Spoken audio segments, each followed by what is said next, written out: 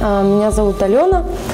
А, мне 25 лет, я обычный человек, как и все остальные. А, училась я на дизайнера, закончила техникум, а потом поступила снова в институт, там тоже долгая история, потому что хотела высшее образование. Для того, чтобы получать на 500 рублей больше зарплату. Я вообще из Якутии, вот, из города Неринг, где добывает уголь. Я здесь уже нахожусь около 8 лет. Вот, первая моя урбания была, когда я только взяла в руки баллончик.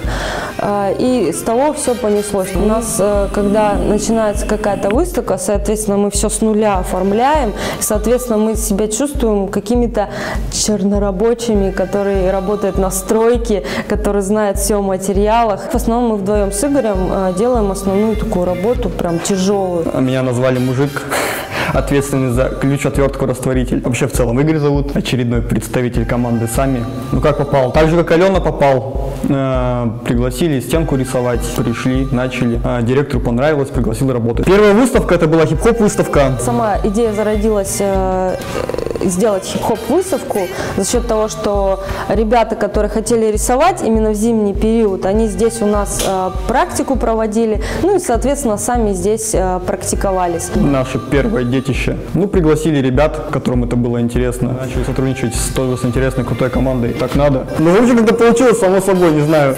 Просто всем понравилось, и все решили что-то делать. У нас э, стены, они были покрашены в такой советский период когда-то синей темной краской, э, белой шпатлевкой, то есть это было очень по старинке, это было все как-то э, и не очень красиво и комфортно в этом помещении было.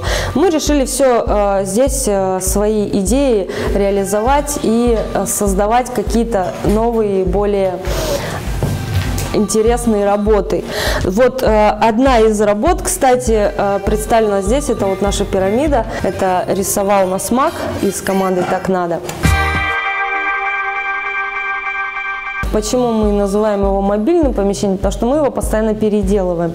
Переделываем под одну тематику, под вторую, под третью. Выставка была а, «Пробуждение» называлась. То есть здесь у нас были музыканты, мыльные пузыри, вот прямо здесь в подвале. А, здесь у нас были стеллажи, здесь у нас мы закупили очень много травы. Травы, ну, в плане не... Ну, в общем, вы поняли, зелененькая травка из зоомагазина. И мы здесь по всему подвалу эту траву выложили, расставили, и все, когда приходили, восторгались этим, то, что здесь э, на момент, когда лежал снег на улице, сюда приходили, а здесь трава зеленая везде повсюду была. В общем, вот такая маленькое волшебство было. Мы живем этим просто и дышим, и к нам сами все тянутся, липнут. Вот. А по, по части ночи в музее у нас здесь еще были комнаты. А, ну, каждая комната, она была определенным страхом. Вот у нас есть комната с электрическим стулом.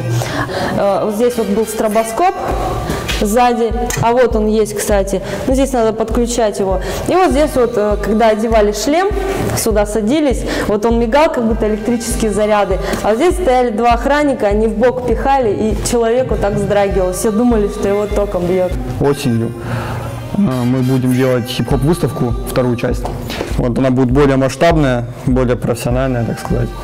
Вот, будем к ней готовиться. Э, дополнительно к этой выставке будем делать еще большую стенку, оформлять. Э, тоже там пока тему еще не выбрали. Вот, но думаю, что будет намного все интереснее. Ага. Да, у нас большая, большая стенка на улице, это наш фасад. Большая стенка, которая там вот на улице, э, как вы ходите направо, это вот наша работа прошлогодняя, осенняя. Ну, это, можно сказать, даже не граффити, это чистый пример стрит-арта. У нас был, у нас вообще был просто готов, это вот портрет, это реально существующая, существующая девушка, это моя знакомая из моего родного города, мы просто взяли ее за основу, а остальное просто поперло. В принципе, в принципе, как бы смысл, наверное, все-таки есть. В общем, вот все эти цветные путы, э, телевизоры эти черно-белые, которые в них находятся, это, ну, можно сказать, там, не знаю, влияние телевидения, соцсетей, э, что девушка окутана ими. И вот этот маленький персонаж, робот, он пытается ее освободить от этого всего, пытается их разрезать, как-то так. Вообще, как бы, много планов. Э, ну, повышение своего собственного уровня, как бы, в работе с большими объектами, в работе именно с банками, с баллонами. Э, Все-таки надо наработать именно свой неповторимый какой-то стиль тоже от этого страдаем, потому что вот как-то своего конкретно стиля, такого прям отточенного и явного еще нету, к сожалению. Я вообще с железнодорожным образованием крашу стенки.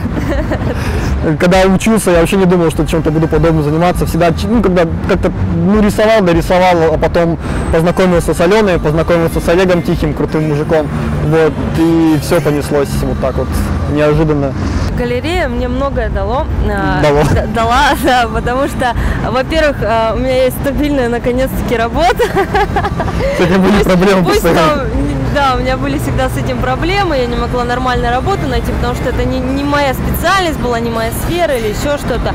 А здесь как бы э, у нас есть все для того, чтобы творить. У нас есть помещение, у нас есть краска, э, у нас есть, э, в общем, возможности. Возможности для того, чтобы реализовывать себя. Мы здесь просто все молодые, все друг другу помогаем, поддерживаем, прикрываем где надо. Если надо, там, ну не знаю, ну просто мы как семья уже дружная такая, сплоченная команда просто стали и настолько, настолько мы пропитались этой работой, что мы на работу, если честно, вот первый раз в своей жизни вообще на работу хожу с удовольствием.